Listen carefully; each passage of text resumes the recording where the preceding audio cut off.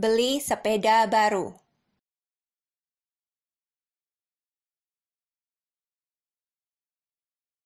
Ana ingin membeli sepeda baru dengan uangnya sendiri.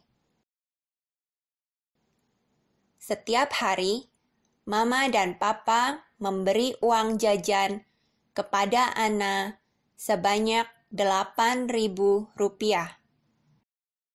Ana selalu membawa bekal ke sekolah supaya ia bisa menabung uang jajannya.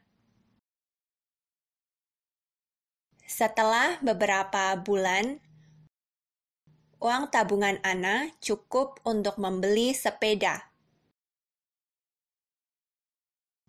Ana sangat senang. Dia akhirnya mencapai tujuannya.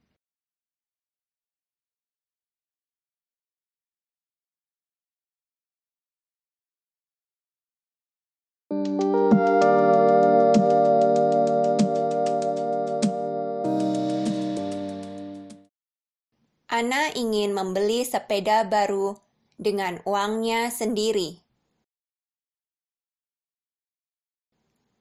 Setiap hari, Mama dan Papa memberi uang jajan kepada Ana sebanyak delapan ribu rupiah. Ana selalu membawa bekal ke sekolah supaya ia bisa menabung uang jajannya. Setelah beberapa bulan, uang tabungan Ana cukup untuk membeli sepeda.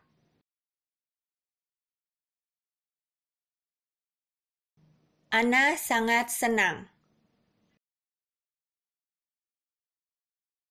Dia akhirnya mencapai tujuannya.